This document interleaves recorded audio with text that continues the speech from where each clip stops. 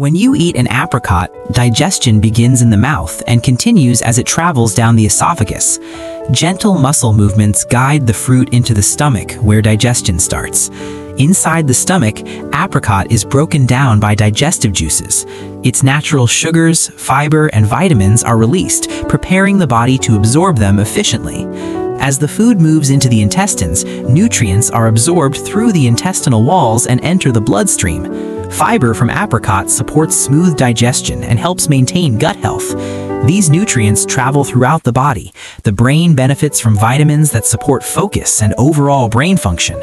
Muscles receive nourishment that helps with recovery and daily movement.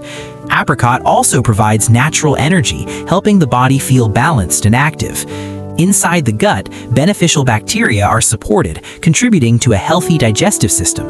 However, eating too many apricots may cause stomach discomfort, blood sugar changes, or allergic reactions in some people.